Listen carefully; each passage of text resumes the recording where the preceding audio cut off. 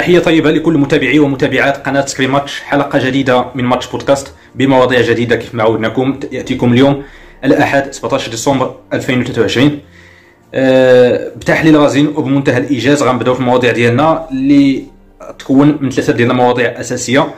أولا عودة شيخ المدربين فوزي البنزرتي إلى البطولة الوطنية الاحترافية. ثم أه تأجيل الميركاتو الشتوي ونختتم باللائحة الأولية للمنتخب الوطني المغربي استعدادا لنهائيات كأس أمم إفريقيا اللي صفتها وليد الركراكي بعجالة إلى المحور الأول وعودة التونسي فوز البنزرتي لقيادة الوداد خلفا المدرب المغربي الشاب عادل رمزي. حسب بيان الفريق الانفصال كان بالتراضي بين الطرفين. هذه هي المرة الرابعة بطبيعة الحال اللي كيتم فيها التعاقد مع فوز البنزرتي في عهدة الرئيس الحالي للوداد السيد سعيد الناصري 2018 كان التعاقد لأول مرة. والتتويج بالسوبر الإفريقي ثم وقع التخلي عن الفريق حيث مشى الإشراف على منتخب تونس رجع بعد ذلك وقاد الفريق لنهائي Champions League في 2019 بعد سنة finale رادس الشهير. ثم توج بلقب البطولة الوطنية الاحترافية ثم مشى. قبل ما يرجع في سنة 2021 وقاد الفريق للتتويج بالبطولة مرة أخرى ولكن أقصي في نصف نهائي Champions League أمام كايزر شيفز وضيع الفريق لقب اللي كان في المتناول ثم مشى بعد ذلك واتهم إدارة الفريق آنذاك بالتقصير وعدم الدفاع على الفريق. في عهد نفس الرئيس نفس الإداريين هذا المدرب كيرجع. هذا المسار لهذا المدرب مع مع الرئيس اللي كيتعاقد معاه لا يحتاج صراحة لأي تعليق. وبعد عودتك لتونس. كانت التجربه مع الوداد رسميا نجم نقولوا اليوم فوزي مش لا لا لا رسميا. رسميا. ترمينيا خاطر جيت تونس في ثانية جيت protéger ما دافعوش على الفريق نتاعهم فهمتني؟ أنا الاسباب هذه هذه الأسباب. عدة أسباب. الاداره ضعيفة. je me sens tout seul سون تروح وحدك avec les assistants فهمت نشكرهم. بالمناسبة في اللقاء معمل فهمت فهمتني عدة أشياء أخرى. معناتها لاني معناتها خاصة معناتها في ال demi-finale نتاع ال Coupe d'Afrique والله تعبنا فيه. سي با نورمال. عملنا كالوندري معناتها مثال معناتها ما نجموش. معناتها تصور أنت في بالك. دو تروا موا نلعبوا كل دو جور تروا جور ماتش. جي معناتها نلعبوا مع غدير معناتها بعيد على كازابلانكا. بعد نروح من ساعتين تاع الليل ونقعدوا بعد غدا عندنا ماتش شامبيونان لأن الماتش الشامبيونان وقتها سري وبعد نلعب نهار يعني نفس الإداريين نفس الرئيس تقريبا آه نفس الهيكل ديال اللاعبين. كان كاينة بعض التغييرات طفيفه ولكن نفس يعني حالة الفريق. هذا المدرب كيرجع من بعد ما اتهم الإدارة في وقت سابق أنها كتقصر في الدفاع على مصالح الفريق بعد الفشل ديالو في المقابلة آه الشهيرة أمام كايزر شيفز في نصف النهائي. دوري أبطال إفريقيا سنة 2021 وتضييع ديال آه لقب دوري أبطال إفريقيا ولقب كأس العرش في واحد. الظرف قصير آه في آخر شهر آه من من الموسم كنتهم إدارة الفريق كيف ما قلت بالتقصير وعدم الدفاع على الفريق ثم كيرجع في نفس الحقبة ديال نفس الرئيس. هذا كيبين أن هذا المدرب ما عندوش ما عندوش مبدأ بين قوسين ما عندوش خطوط حمراء. المدرب اللي كيصرح هذا التصريح فكنفهموا من خلاله أنه ما غيرجعش. النادي أو ربما أضعف الإيمان أنه ما يرجعش. مادام ما تغيرتش الأمور مادام نفس الأسماء هي اللي كاينة في الإدارة ديال الفريق وهذا الشيء اللي ما كانش. نتوسم خيرا في هذا الرجوع ديال فوزي البنزرتي نتمنوا أنه يرجع فريق الوداد الرياضي للواجهه افريقيا بعد ما فقد الكثير من الصورة والوزن. ديالو من بعد ما شفنا فريق الوداد الرياضي كيخسر في الميدان ديالو أمام فريق اللي تأسس سنة 2014 هذه واقعة اللي ما طراتش ربما في تاريخ الفريق. شفناها في في المرحلة ديال عادل رمزي. كنتمناو أن فوزي البنزرتي بالمساوئ ديالو كاملة يستطيع على الأقل أنه يرجع فريق الوداد الرياضي للواجهة. كنا تحدثنا في حلقة سابقة أن مرحلة عادل رمزي انتهت مع فريق الوداد الرياضي. هذا الشيء اللي كان رغم بعض بعض المماطلة ولكن يعني تبين ان أن القرار اتخذ في الإدارة ديال الفريق أو في مفكرة سعيد الناصري خلينا نكونوا دقيقين. وبالتالي التجربة ديالو مع الفريق الأحمر كتنتهي مبكرا. نتمنوا لهذا المدرب الشاب كامل التوفيق في, في المستقبل ديالو في التدريب.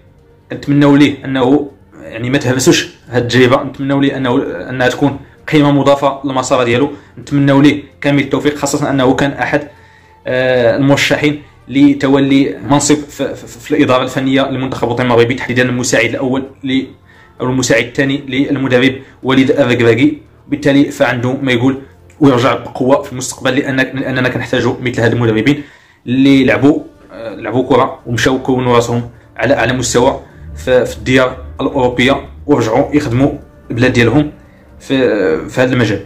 ننتقلوا للمحور الثاني اللي عندنا في هذه الحلقة. المحور الثاني اللي نشوفوا فيه آه، خبر ديال تأجيل الميركاتو الشتوي اللي اتخذته العصبة الاحترافية لكرة القدم. الميركاتو اللي كان مقرر أنه ينطلق في 3 يناير 2024 مطلع السنة المقبلة.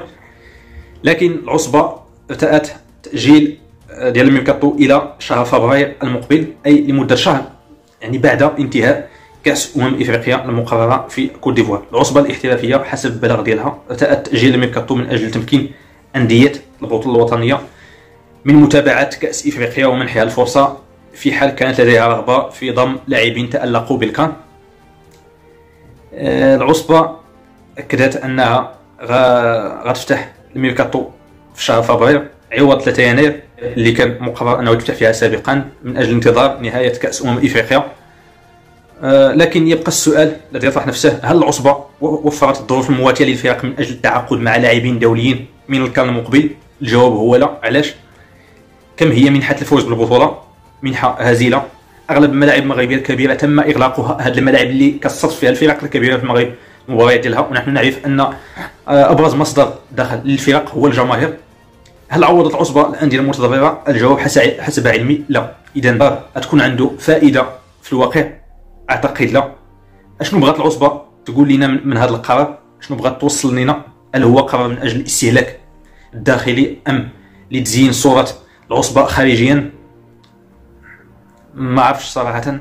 آه، بعض القرارات كتاخذ من أجل انها تتخذ فقط وإلا علاش ما فتحوش الميركاتو يوم 3 يناير وتمدد آه، ينقضت الضرورة لمده لمدة شهر؟ هذا خيار اللي كيبقى مطروح. ولا اعرف صراحة بعض القرارات اللي كتتاخذ في, في, في عصر أو في, هذا آه، العهدة ديال السي عبد السلام بن رئيس العصبة الوطنية الاحترافية. بعض القرارات اللي غريبة جدا.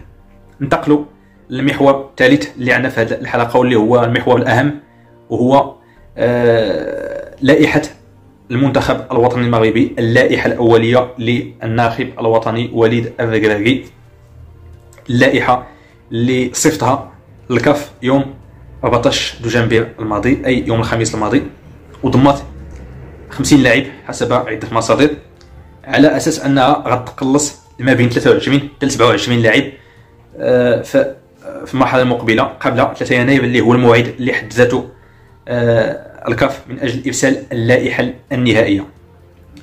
اللائحه ديال 50 لاعب يكون فيها جميع اللاعبين اللي شفناهم في المرحلة السابقة يكون فيها بعض الأسماء الجديدة. بطبيعة الحال. لكن آه، في رايي أن التشكيلة ديال الكان غيخلي وليد نفس التشكيلة الأساسية اللي كانت في المونديال مع بعض الإضافات الصابيري حارث بيتشارلسون عزوزي تيسودالي الكعبي عبد الحميد أبقى عملود أمين عدلي إبراهيم صلاح. هذو أسماء اللي كنتوقع شخصيا أنها تكون في اللائحة النهائية آه، ديال وليد الركراكي آه، نظرا لأن عدد من عدد من التغييرات طرات منذ المونديال إلى إلى الآن مجموعة من اللاعبين فقدوا التنافسيه نتحدث عن أشرف داري نتحدث عن جواد دياميق نتحدث آه عن عبد الرزاق حمد الله ربما اللاعبين اللي خرجوا من مفكرات وليد الركراكي ممكن آه اسم أو اسمين يرجعوا في اللائحة النهائية. هذا يعتمد على المستجدات اللي اللي غتكون في هذا في هذا المدة ديال 15 يوم. الإصابات آه ثم تألق ديال ديال بعض اللاعبين اللي ممكن يكون في هذه المباريات اللي متبقية اللي هم مع الأندية ديالهم وإلا في اللائحة آه النهائية آه بنسبة 90 حتى 95% أضحت واضحة في مفكرات المدرب وليد الكراكي مع بعض الاستثناءات الطارئه اللي ممكن تطرا في هذه 15 يوم اللي بقى من أجل إرسال اللائحة النهائية يتعلق الامر ببعض الإصابات إصابة نصير مزراوي إصابة اللي كانت كالصاعقه على المعسكر ديال المنتخب الوطني المغربي أو على الاداره الفنيه للمنتخب الوطني المغربي. بعد يعني إصابة الظهير الأيمن ديال المنتخب المغربي اللي كيوظفوا وليد الكراكي في الظهير في مركز الظهير الأيسر. نظرا للضعف اللي عندنا في هذا المركز.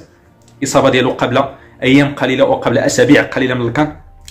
آه الخبر اللي كاين أن نصير مزعوي ياخذ آه السباق ضد الزمن من أجل العودة قبل الكان. نتمنوا ذلك وإلا فغنوجدوا نفسنا أمام صعوبة كبيرة في التعويض ديال هذا الاسم خاصة أن الظهير الأيسر عندنا. آه نعاني في هذا المركز بتواجد آه عطية الله اللي يعتبر الخيار الوحيد حتى الآن لمدرب وليد الكراكي في هذا المركز. عطية الله اللي تراجع نسبيا الأداء ديالو منذ المونديال لا مع الفريق ديالو لا مع المنتخب الوطني المغربي. وليد الكراكي غيفكر في جميع الاختيارات من أجل آه، حل هذه المعضلة. ثم آه، بقية الخطوط ربما تم الحسم فيهم خط الهجوم مع تواجد يوسف النصيري مع تواجد طارق تيسودالي مع تواجد أيوب الكعبي. هادو هما رؤوس الحربه اللي مرتقب أنهم يمشيو يمشيو مع المنتخب الوطني المغربي إلى نهائيات الكان. ثم في وسط الميدان الأسماء باتت واضحة. نفس الأسماء ربما اللي اللي كانت في, المونديال مع تواجد سفيان امرابط اللي استرجع رسميا مع مانشستر يونايتد رغم المعاناه ديال الفريق بتواجد أناحي اللي آه، الجاهزية ديالو تبقى محل شك مع تذبذب الحضور ديالو. مع مارسيليا فعل الإصابات فعل الاستعداد البدني.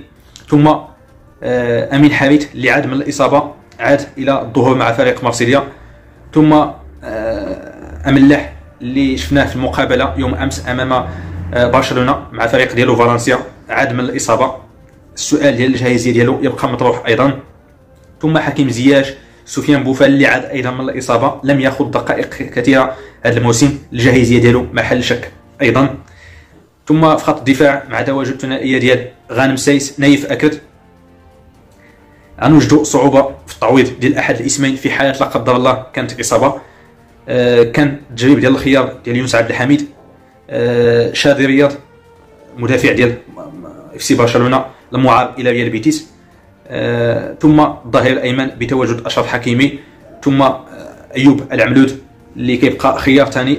حسب اللوائح السابقة وحسب المعسكرات السابقة ديال المنتخب الوطني المغربي. هذه هي اللائحة النهائية المرتقب أنها تمشي مع المنتخب الوطني المغربي ما لم تكن هناك إصابات لا قدر الله وهذا الشيء اللي ما كنتمناوش في هذا آه، الشهر اللي باقي للمنافسات.